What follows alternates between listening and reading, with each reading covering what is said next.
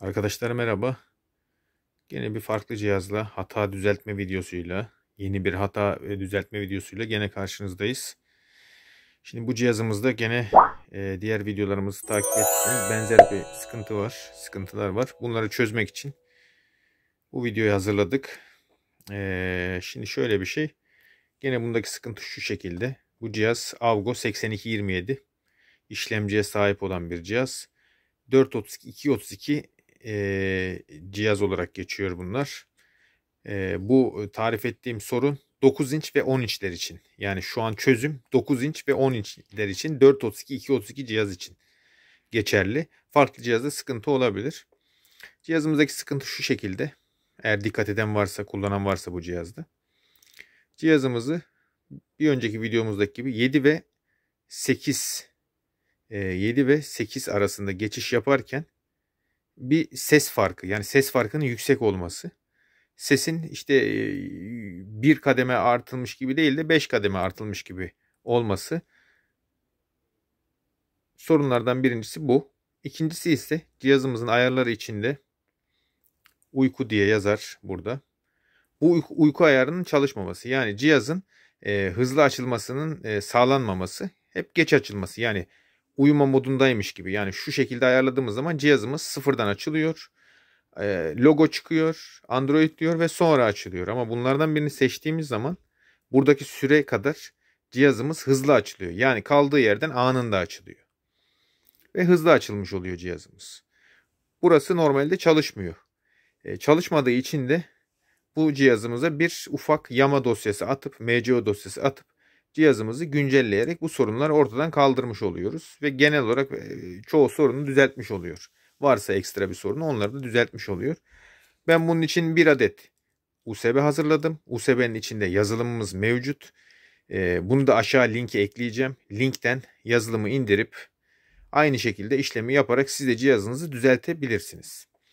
Cihazımızın cihazımıza USB'mizi takıyoruz yazılım yüklü USB'mizi cihazımıza taktığımız zaman ekranına bu şekilde uyarı veriyor. Beklememiz yeterli olacaktır veya tamama basmamız yeterli olacaktır. Cihazımız şu an düzeltmeleri yüklüyor yeni düzeltmemizi. Bekliyoruz videodaki gibi takip ediyoruz. Bu arada e, indirdiğimiz dosyayı auto update diye e, USB'mize dosya şeklinde zipsiz, rarsız, açmadan yüklüyoruz. Boş bir USB ve bunu cihaza takıyoruz. Cihazımız otomatik başlıyor. Otomatik başladıktan sonra sadece beklememiz yeterli olacaktır. Şu anda gene cihazımızın tuş ışıkları yanıp sönüyor dikkat ediyorsanız. Bu şu an yazılımın yüklendiği anlamına geliyor. Yani işlemin bitmediği anlamına geliyor. Bunu takip ediyoruz ve USB'mizi çıkartmıyoruz. Çıkartmadan bekliyoruz USB'mizi. Cihazımız açıldıktan sonra şu anda yazılım işlemimiz bitti. Işıklar durdu.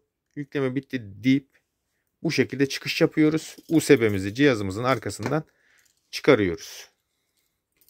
Çıkardıktan sonra yapmamız gereken bazen e, cihazlarda dokunmatik ters çalışabiliyor şu an gördüğünüz gibi ve bu yan tuşlar gitmiş oluyor. Dikkatlice takip edersek bunları da bu şekilde düzeltebiliriz. Öncelikle ekranı düzeltmemiz gerekiyor ki tuşları ayarlayabilelim. 5 parmağımızla ekrana basılı tutuyoruz ve bekliyoruz. Bekledikten sonra bu, bu şekilde kalibrasyon ekranımız geliyor. Noktaları takip etmemiz yeterli olacaktır. Birinci nokta, ikinci nokta, üçüncü nokta, dördüncü nokta ve beşinci nokta olarak. Cihazımızın ekran kalibrasyonu tamamdır. Şimdi sırada yan tuşları ayarlamak var. Hemen ayarlar bölümüne giriyoruz. Fabrik ayarları diyoruz. 1, 2, 3, 4 diyoruz. Bu şekilde giriş yapıyoruz. Giriş yaptıktan sonra dokunmatik e, öğrenme diye düğme öğrenme diye burada bir seçenek var. İçine giriyoruz. Girdikten sonra bu şekilde önce temizleme diyoruz ve burayı komple temizliyoruz. Sonra başlangıç diyoruz. Sonra da ayar işlemine başlıyoruz. Güç kaynağı tuşumuz. Ana sayfa home tuşumuz yani. Geri dönüş tuşumuz. Volüm artı cilt artı Ses. Burada bazı Türkçe karakterlerde düzeltme ile alakalı bir sorun var ama siz de aynısını bu şekilde yaparsanız olay çözülecektir. Sona ermek diyoruz. Sona erdikten sonra zaten cihazımızın tuşlarının çalıştığını göreceğiz. Buradan direkt çıkabiliriz. Arka planı temizleyebiliriz. Cihazımız şu anda sorunlar giderilmiş bir halde. çalışabiliyor artık.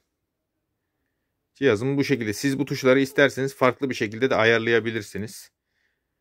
Ben bu şekilde ayarladım. Siz farklı ayarlayabilirsiniz. Nasıl çalışmasını istiyorsanız o şekilde de yapabilirsiniz. Cihazımız bu şekilde çalışıyor. Ekstra menüyü değiştirmek isteyen arkadaşlar da buraya basılı tutarak bu alt kısma bu şekilde de cihazın temalarını değiştirebilir istediği şekilde.